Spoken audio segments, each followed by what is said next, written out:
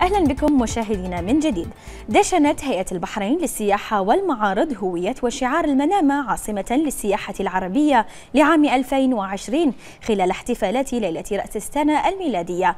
ويأتي هذا التدشين تزامنا مع اختيار المنامة عاصمة للسياحة العربية لعام 2020 خلال اجتماع المجلس الوزاري العربي للسياحة في دورته الثانية والعشرين بمحافظة الإحساء بالمملكة العربية السعودية. إذ شهدت مملكة البحرين إقبالا ملحوظا للسياح خلال العام الماضي. فقد بلغ إجمالي الليالي السياحية خلال التسعة أشهر الأولى منذ عام 2019 حوالي 10 ملايين و700 ألف ليلة. قضاها السياح في مختلف أماكن الإقامة داخل مملكة البحرين.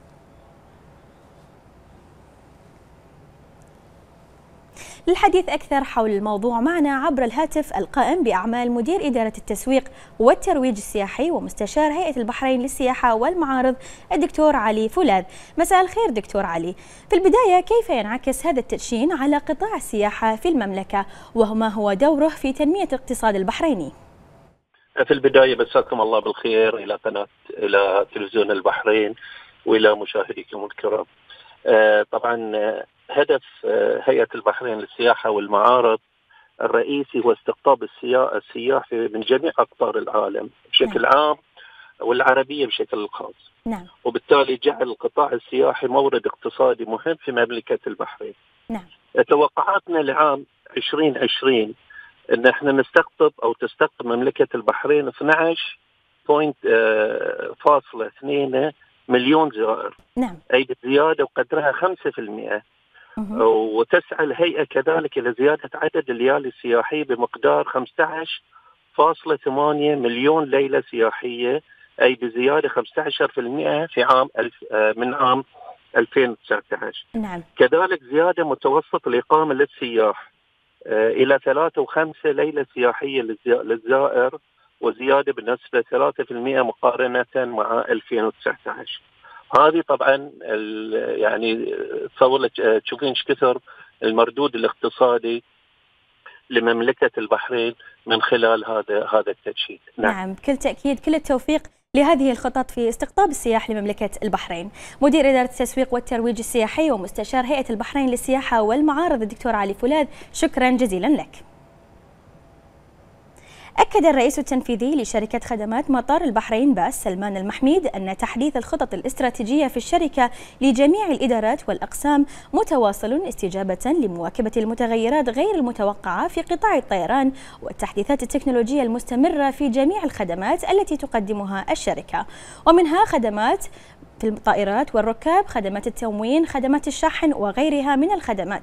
وأضاف المحميد أن هذه التحديثات تأتي بالتوافق مع السياسات والإرشادات العالمية المعتمدة من اتحاد النقل الجوي الدولي أياتا والمنظمة الدولية للنقل الجوي إساغو. وبما يسهم في تطوير وتعزيز مكانة الشركة على المستوى المحلي والإقليمي.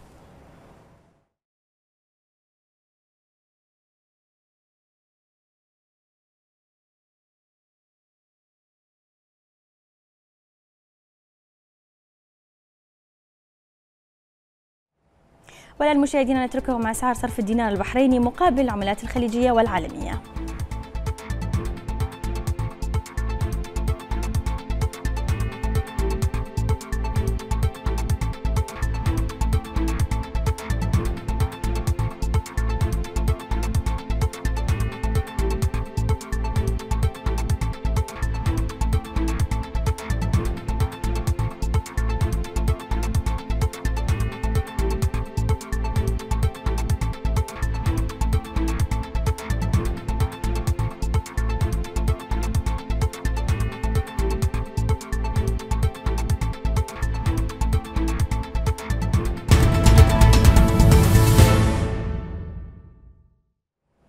نواصل النشرة الاقتصادية مشاهدينا مع فقرة إغلاقات البورصة لنهاية تعاقدات هذا اليوم ونبدأ مع بورصة البحرين. فقد أقفل مؤشر البحرين العام في أول تداولاته في العام الجديد على تقدم نسبة 0.12% مغلقا التداولات عن مستوى 1612 نقطة.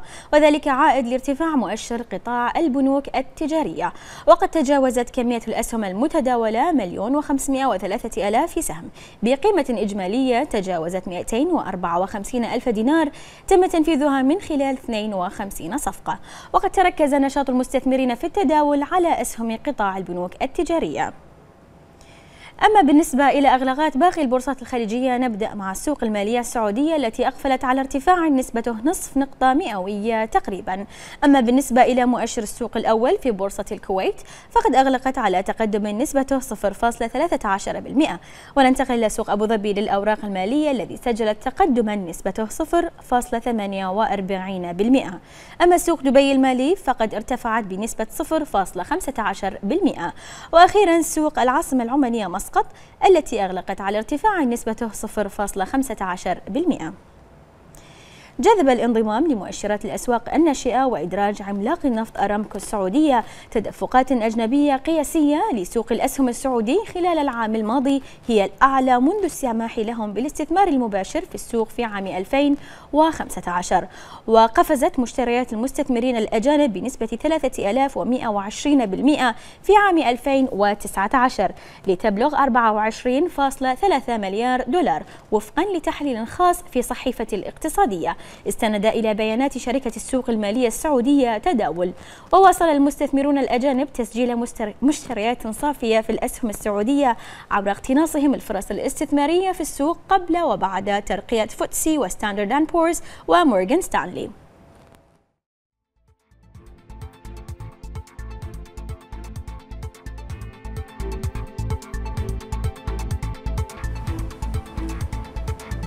مشاهدينا النشرة الاقتصادية مستمرة من تلفزيون البحرين وفيها بعد قليل. ايرباص الأوروبية تقتنص المركز الأول في صناعة الطائرات من منافستها الأمريكية بوينغ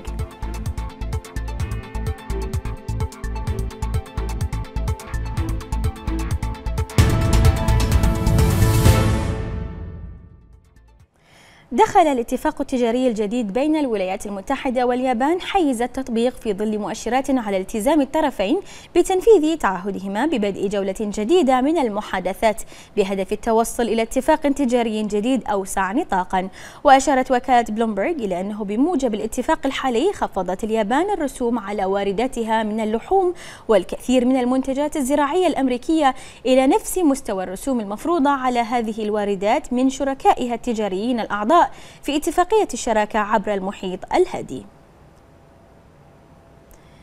قال البنك المركزي الصيني إن النمو الاقتصادي يظل متينا رغم ضغوط ضخمة نسبيا وتنامي الضبابية الخارجية. وقال بنك الشعب الصيني في بيان إنه سيعمل على درء المخاطر المالية ونزح فتيلتها وسط تغييرات عميقة في الاقتصاد المحلي والدولي. وأضاف البنك إنه سيبقى سعر صرف اليوان متوازنا ومستقرا وسيستخدم أدوات نقدية متعددة وسياسة مرنة للمحافظة على السيولة. قالت مصادر بمطارات وجهات رصد أن إيرباص الأوروبية سلمت عددا قياسيا من الطائرات في ديسمبر لتتخطى هدفها للعام 2019 وتقتنص المركز الأول في صناعة الطائرات من منافستها الأمريكية بوينغ التي تمر بمتاعب.